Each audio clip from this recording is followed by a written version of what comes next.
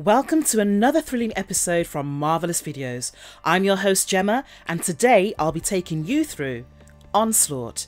This evil form of Professor Xavier was a serious threat to the X Men. The mutants from the Marvel Comics have never failed us when it comes to thrills and adventures. Yes, we are talking about the X Men. Characters like Wolverine, Charles Xavier, and Magneto are worth going crazy for, as these mutants have a fascinating set of abilities and personalities, and all that was escalated with Hugh Jackman being cast as Wolverine in the live action X Men movies. Villains from the series also have an enormous contribution in making it exciting, and today we will be exploring one such villain, Onslaught, who is yet to be introduced in the cinematic world but has inflicted great chaos in the comics. Onslaught, which means a fierce or deadly attack, is actually born out of Professor X's dark side. Created by Scott Lobdell, Mark Waid, and Andy Kubert, the character made his first appearance as a cameo in X Men Prime Issue 1 in July 1995. However, his first full appearance was in X Men Volume 2, Issue 53, published in June 1996. So, without further delay, let us dive into today's video and explore this immensely strong and catastrophic X Men villain, Onslaught. Before we go into our explanation, we have a very small request. If you like our content, please support us by subscribing to our channel. This is a small click for you, but for us, it means a lot. Thank you. Let's begin. A memorable comic book appearance. In X Men Volume 2, Issue 53, we get Onslaught's full appearance. The plot begins with Jean Grey shopping in Salem Center. Being a telepath isn't that easy as you constantly get to compare the words of regular ordinary people with their actual thoughts in mind, and she could read the minds of the shop attendants and customers, calling her names as she is a mutant. However, she ignores them and enters a changing room where she finds herself transported to the astral plane by Onslaught, whom she has no clue about. Onslaught confronts Jean Grey about the duplicity of humans and tells her that the Professor's dreams about establishing the perfect human mutant bond are futile. He tells her that despite what happens, the human hatred for mutants will only keep growing to the point either of them perishes. To establish his point, he takes her to Graydon Creed's campaign headquarters. Graydon was the child of Mystique and Sabretooth and was a mutant too, but he despised that and hated mutants. He was a candidate for being the president on an anti mutant platform, and Onslaught proved it by making Jean read his mind.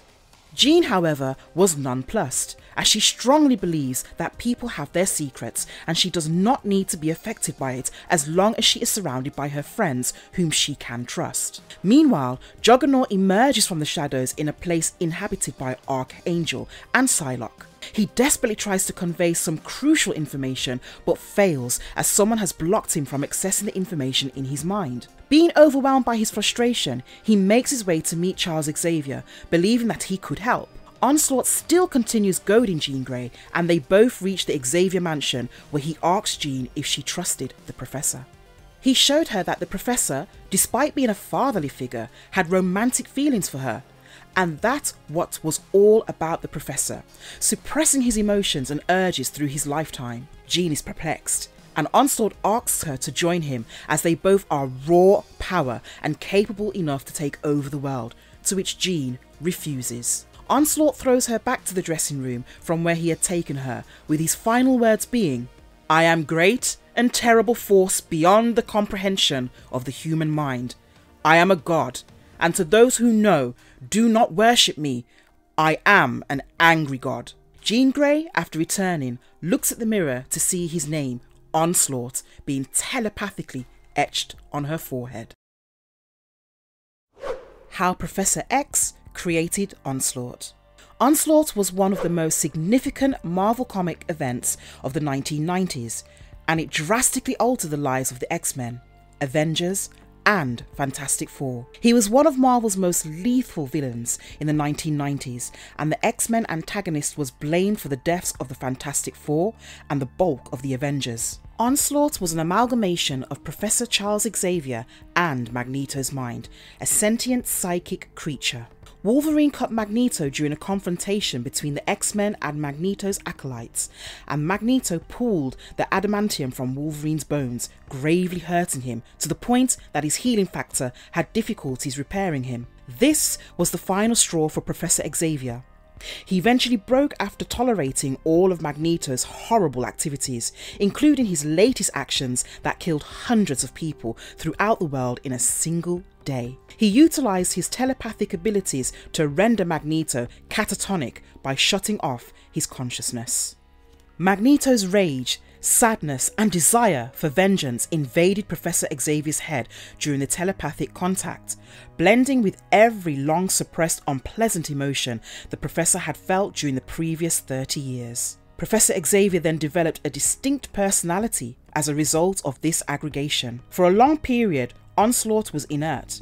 Xavier's dissatisfaction with his ideal of mutant human peace and harmony grew over time, compounded by the daily rise of anti mutant hysteria, the deaths of scores of mutants from the deadly legacy virus, and his own unsuccessful attempt to rehabilitate the mutant sociopath known as Sabretooth. When anti mutant humans killed a young mutant near the Xavier Institute for Higher Learning, the ex secret men's base, Xavier hit his breaking point.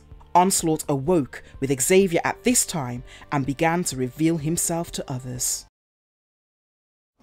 Onslaught Reborn Story Arc Onslaught is a nigh omnipotent villain who can absorb powers from a variety of different characters. He was created by Professor X and Magneto. Onslaught is well known for his role in the deaths of the Avengers, Fantastic Four, Hulk, and Doctor Doom, which resulted in the relaunch Heroes Reborn.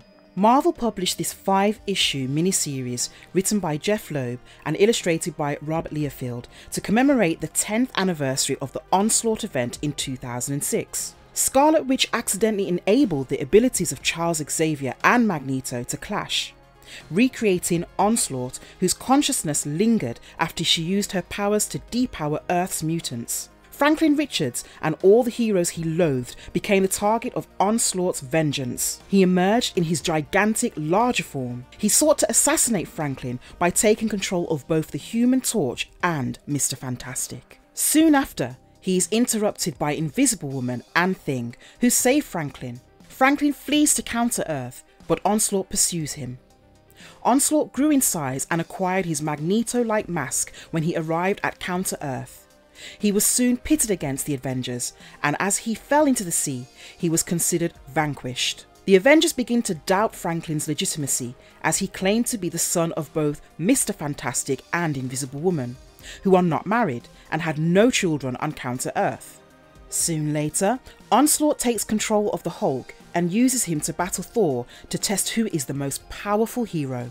Onslaught shifted between the two heroes, eventually taking control of Thor and hitting the Hulk with lightning. Thor lowered Mjolnir, no longer worthy, as the Onslaught possessed Thor and was about to attack Hulk again. As a result, Onslaught reverted to Hulk and struck Thor high into the sky. The Avengers came just as he was about to take up the hammer, and a struggle erupted. Captain America then told Human Torch and Iron Man that they had 60 seconds to save Thor before he returned to his alter ego. They saved him in the time allocated, and Johnny returned Thor to the Baxter building where Mr. Fantastic had determined that Franklin was really his son. Cap tells Hawkeye to look for Onslaught and tells him that he knows who is inside Hawkeye's mask. Wolverine. Cap is tossed inside a building as they continue their confrontation with the demonic Hulk. Already in the atmosphere, Iron Man crashes down at full speed on the Hulk, hoping that Bruce will forgive him one day. Hulk is knocked out by a blow from him. When Onslaught gains control of Iron Man and fights Cap, he and Cap discuss their next move. Rikki Barnes is babysitting Franklin in the Avengers mansion, and the two of them are ready to eat breakfast when Loki, Executioner, Scarlet Witch, Enchantress, and Ultron V offer to assist them to destroy Onslaught. Sue refuses to allow the villains to hurt Franklin as they appear on a balcony as an invisible Ant-Man and Invisible Woman. Following a brief skirmish, the villains agree to work together to overcome Onslaught's menace, but it was Rikki Bucky Barnes, who ultimately beat him by sending them both through the negative zone barrier in Richard's lab, locking them there. Franklin goes home while Bucky finds herself on Earth 616 and Onslaught is spotted floating outside the Negative Zone's Area 42 jail. What made Onslaught so powerful? Professor X and Magneto's mutant talents were united in Onslaught. His abilities included the capacity to create illusions, mental or physical paralysis, memory loss, and complete forgetfulness. He could also send forth mind numbing mental bolts and detect mutants within a short distance. Onslaught could also shape and manipulate natural and man made magnetic fields. He's also capable of projecting a wide range of electromagnetic radiation. His incredible power allows him to lift more than 100 tons. His endurance is also amazing. Onslaught possesses near omnipotent reality warping abilities on a potentially limitless scale, maybe even cosmic scale telekinesis, and astral projection were among the other powers he had. Even the most powerful telepaths are powerless against Onslaught's ability to read minds and project his own ideas into the brains of others over great distances. Onslaught's telekinetic abilities allow him to exert exquisite control over items. He can use explosives to destroy sophisticated equipment and reconstruct them just as swiftly and simply. This has also given him the ability to become aware of and manipulate objects as small as individual electrons in an atom.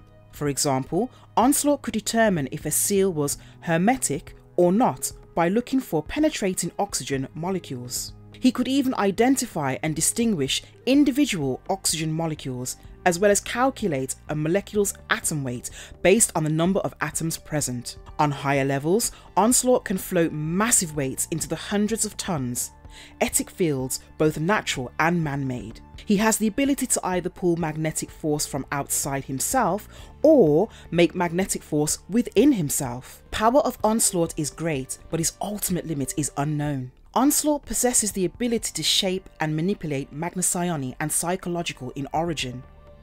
He has the ability to lift, move, and change items. Onslaught can levitate or control a person's actions by manipulating the iron in their bloodstream. Manipulate the iron enriched blood flow to one's brain to induce aneurysms or unconsciousness. Redirect the flow of blood through one's brain to alter thoughts and perceptions, or blank a person's mind completely. Remove the iron from the bloodstream to cause aneurysms or unconsciousness. Onslaught has the ability to manipulate ferrous particles in the atmosphere, change the Earth's magnetic field, which extends into space as the magnetosphere, vastly boost his own strength to superhuman proportions, and do a variety of other feats.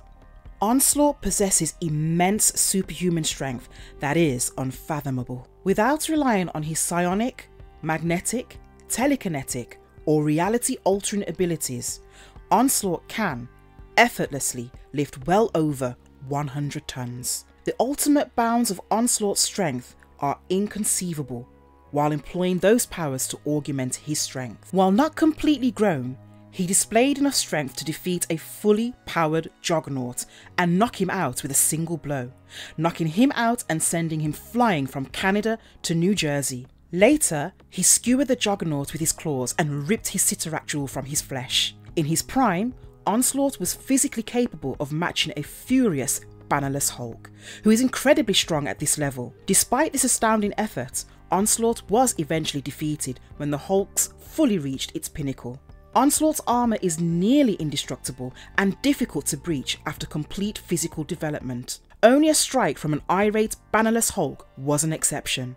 When Onslaught was in an unstoppable, susceptible mid-evolution flux, however, some were capable of causing damage. Finally, Onslaught took advantage of the Hulk's incredible power to break his armour, allowing him to completely develop. As a result, it's likely that he couldn't grow on his own and that the Hulk had to conquer his abilities. Onslaught as a mental entity has the capacity to absorb any mutant into his being and possess their talents forever. He ate two mutants, X-Man and Franklin Richards to strengthen his immense power. When a person's volition is less than the control exerted, they are entirely dominated without their agreement. Onslaught holds both Charles Xavier's and Magneto's brilliant intellects, giving him the same competence and knowledge as either. He could handle his talents better than novice wielders like the reality manipulator Freedom Ring or the newborn Franklin Richards because of his super genius brain and extensive history. And if you liked our content, don't forget to leave a like and subscribe to us if you haven't already. Have a good one and be safe. Thanks everyone.